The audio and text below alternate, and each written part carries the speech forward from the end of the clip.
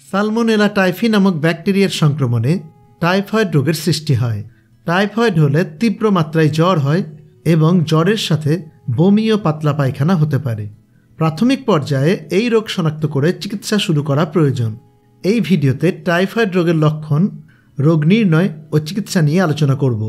আমি technology master, Calcutta school of tropical medicine Kolkata এবং all India institute of medical sciences নতুন দিল্লি থেকে প্রশিক্ষণপ্রাপ্ত মেডিকেল ল্যাবরেটরি টেকনোলজিস্ট।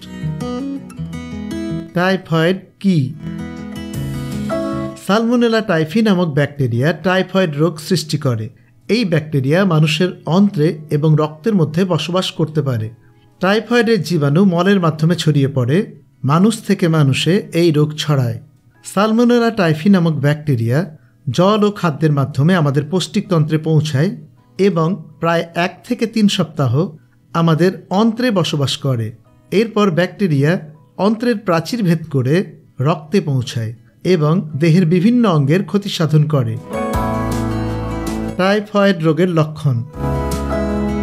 টাইফয়েডের জীবাণু সংক্রমণের সাত থেকে চোদ্দ দিনের মধ্যে টাইফয়েড রোগের লক্ষণগুলি দেখা দেয়। এই রোগের প্রধান লক্ষণ হল জ্বর এবং ত্বকের অ্যাস বেরোনো টাইফয়েডে জ্বরের মাত্রা সাধারণত খুব বেশি থাকে। জ্বর একশো চার ডিগ্রি ফারেনহাইট পর্যন্ত হতে পারে।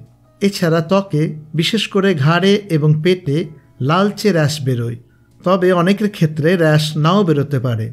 অন্যান্য যেসব লক্ষণগুলি দেখা যায়, সেগুলি হল পেটের গণ্ডগোল হজমের সমস্যা, ডায়রিয়া, বমি বমি ভাব, দুর্বলতা, পেট ব্যথা, কোষ্ঠকাঠিন্য, মাথা ব্যথা ইত্যাদি।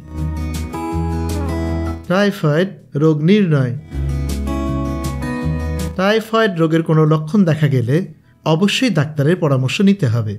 আপনার ডাক্তার প্রয়োজনীয় শারীরিক পরীক্ষা করবেন এবং রোগের ইতিহাস সম্পর্কে জানবেন। রোগী গত দুই সপ্তাহের মধ্যে কোনো ভ্রমণ করেছেন কিনা বা বাইরের খাবার খেয়েছেন কিনা সেটাও জানবেন। এছাড়া টাইফয়েড রোগ শনাক্ত করার জন্য রক্ত, মল, মূত্র ইত্যাদি পরীক্ষা করার প্রয়োজন হয়।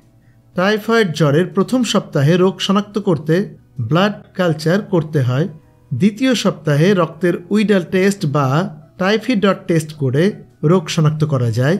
এছাড়া তৃতীয় ও চতুর্থ সপ্তাহে রোগ শনাক্ত করতে মল ও মূত্র পরীক্ষা করার প্রয়োজন হয়। তবে সর্বাপেক্ষা সহজলভ্য উপায় হল জ্বর হওয়ার এক সপ্তাহ পর রক্তের উইডাল বা টাইফি ডট টেস্ট করা। টাইফি ডট টেস্টকে ইমিউনোগ্লোবিলিন এম এবং ইমিউনোগ্লোবিলিন জি অ্যান্টিবডি পরীক্ষা বলা হয়। এছাড়া রক্তের সিবিসি পরীক্ষা করার প্রয়োজন হয়। টাইফয়েড রোগের চিকিৎসা। টাইফয়েডের চিকিৎসা করার জন্য অ্যান্টিবায়োটিক জাতীয় ওষুধ ব্যবহার করা হয়।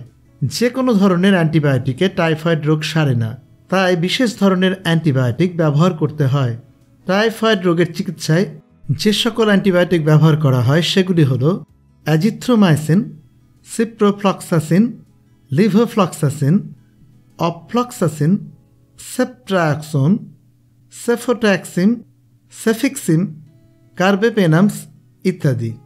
রোগের প্রকোপ তীব্র হলে অ্যান্টিবায়োটিকের সাথে স্টেরয়েড ব্যবহার করা হয়। আলোচনা এখানেই শেষ করব। কোনো প্রশ্ন করতে মন্তব্য করুন। ভিডিওটি লাইক ও শেয়ার করুন। স্বাস্থ্য সম্পর্কে সচেতন থাকতে চ্যানেলটি সাবস্ক্রাইব করুন। Technology Master Facebook page follow করুন। এতক্ষণ সঙ্গে থাকার জন্য ধন্যবাদ।